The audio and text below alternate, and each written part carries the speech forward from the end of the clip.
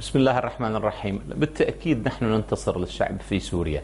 نحن أكثر ناس ندرك أهمية أن ننقذ الشعب السوري والعراق جزء من الجهد الدولي. العراق ليس نشازا.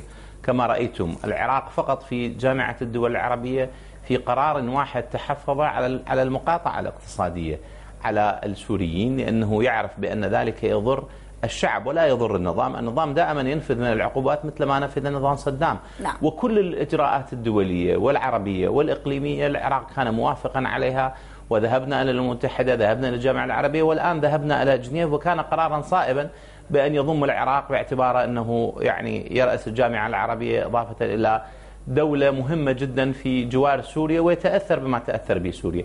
اطلاقا نحن ندعم الجهود الدولية ونعتقد بأن ما تحقق في جنيف هو حل حل جيد. الحلول في سوريا لا يجب أن تكون حلول عسكرية وإنما حلول سياسية. الجهد الدولي يجب أن يوفر الآلية للشعب السوري لاختيار نظام الحكم وليس أن تكون معادلات معلبة تفرض عليه. نعم. لا ننكر بأن ما حدث في العراق وأزاح نظام صدام حسين كان بجهد بجهد قليل من الشعب العراقي. الجهد الدولي كان له الجهد الأكبر.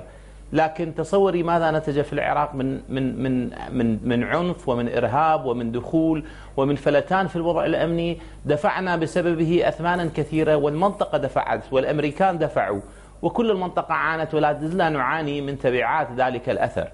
إذا كانت هناك حلول أفضل من الذي حدث من السيناريو الذي حدث في العراق أو الذي حدث في ليبيا فلماذا لا نأخذه؟ مثلا الآن اليمن. مم. اليمن كان الجهد الخليجي جهدا موفقا في أن يحقن الدم وينتقل بالحالة من اليمن من الحالة الفوضوية إلى حالة مقبولة للشعب اليمني. نعم. ساعد الأخوة الخليجيون اليمنيون باختيار شكل ونظام الحكم. الآن الجهد الدولي في سوريا أيضا لأننا ندرك تماما إن سوريا لها أهمية. الظروف تغيرت.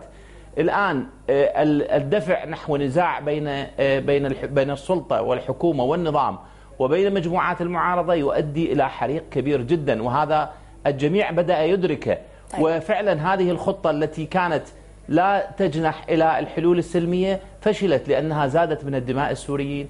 ونحن مهتمين جدا أن لا يعاني شعبنا الشقيق في سوريا وأن لا يبقى هذا النظام نظام الحزب الواحد والرئيس الواحد إلى الأبد. هذا النظام يجب أن ينتهي يجب أن يكون هناك تغييرا مهما جدا في شكل نظام الحكم ونحن لا نقرر ذلك طيب. ولا المجتمع الدولي وإنما الشعب السوري هو من يقرر وهو من بيده آلية التغيير. طيب.